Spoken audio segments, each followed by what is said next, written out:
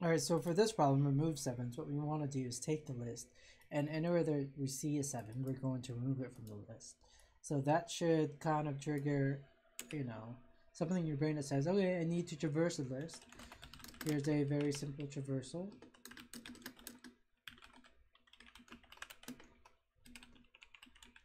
All right, so now we're gonna go and say, hey, are you a seven? List that get at uh, index i, if you are equal to 7, I'm going to do something. Found a 7. So what we're going to do is call remove. List that remove at index i.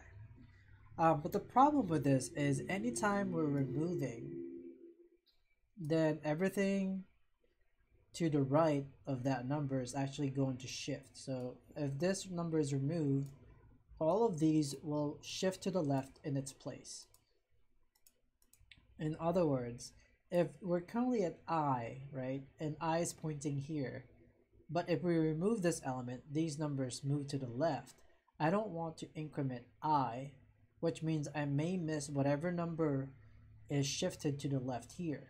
And so every time I remove an element, I'm going to decrement i because I want to revisit that index and say, okay, did anything shift to its place and whatever number shifted to its place, I want to make sure I do the same check on that number.